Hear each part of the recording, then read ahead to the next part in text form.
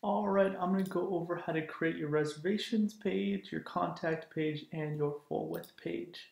So let's dive right in and go under pages and let's add a new one and call this one reservations page and publish it. And let's go ahead and um, all, all we need to do is create a contact form and paste the shortcode on your page.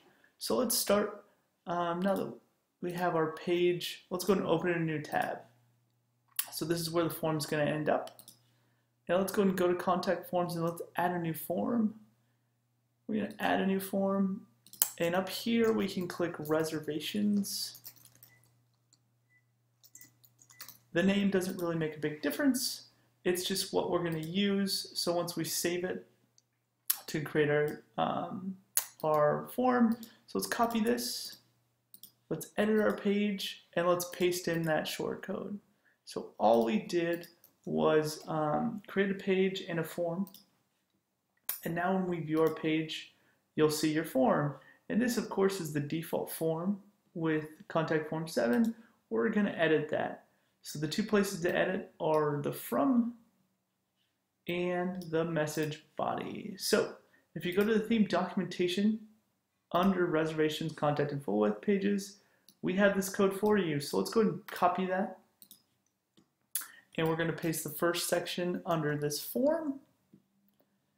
And then we're going to paste the next bit under message body. And of course, instead of this email was from our website, you'll just put your own website. So let's go ahead and save that. And let's refresh our page.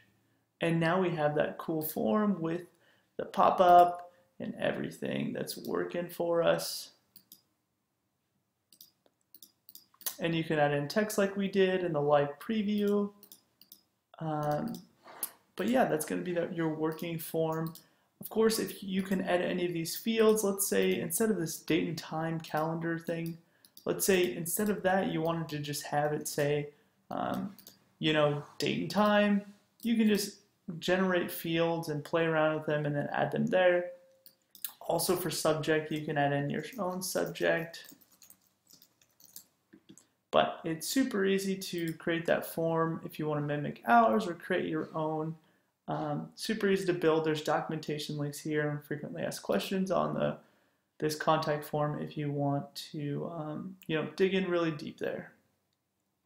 So the next thing to go over is the contact page. So let's go ahead and go to pages and create a new page and we'll call this contact page example. And under template, you can select contact page or contact page full width. They both act exactly the same. One just has um, a sidebar and the other one doesn't. So the map's easy. To create the map, you can just use the light short codes, add in a Google map. You can adjust the height, the location, how much it's zoomed in. Let's zoom in a lot more. Let's do 12. Then you'll cut that out of your content and you'll paste it under contact map shortcode. So let's go and update that and refresh our page. You've got your form at the top. Then to add in your contact form is just like reservations, except for one thing to note is uh, it's automatically created for you, so you can just copy the default form and then you'll want to paste into your page. And so that's how you can create your form and your map. So um, super easy to uh, create your contact page and your reservations page. The last page to go over is full width. So let's go and add a new page and call this one full width example. We can add some text, publish this, and let's view this page in a new tab.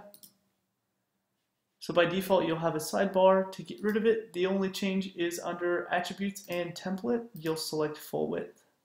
So if we update that, you have your full width page.